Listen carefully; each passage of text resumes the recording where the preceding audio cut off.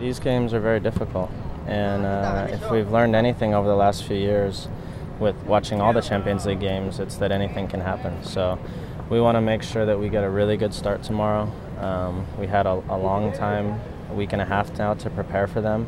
So we're going to come out with a, a lot of energy, and we want to win the game, no question about it. I should have basically ignored the whole All-Star game thing and had our team more ready for that game. Uh, but I'll tell you this: uh, you probably didn't see the game in Puerto Rico. Our guys responded well, and that win away was important, uh, as well as the, the, loss at home. I think so. It's a it's a good lesson, but you know this game will be uh, different than that, and uh, I don't think we can draw on uh, the Puerto Rico series last year. We just got to draw on the fact that we know we're a good team we know we've been in tough games before, and we know we're playing against a very good opponent, and we have to be ready to play well. They'll know what to expect, and, and they'll be able to um, inform their team of, of what the game's going to look like and what it's going to be like. It's certainly different than their league games would be, so they're going to have a little advantage in that way, and they're going to be motivated. Um, obviously, Pando coming back here will be motivated. Guerrero knows the league well.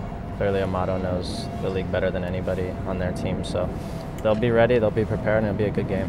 I've known him, I've seen him on and off through the years, and uh, you know he he's one of these uh, coaches or managers, however you want to describe him, that's well respected in the business.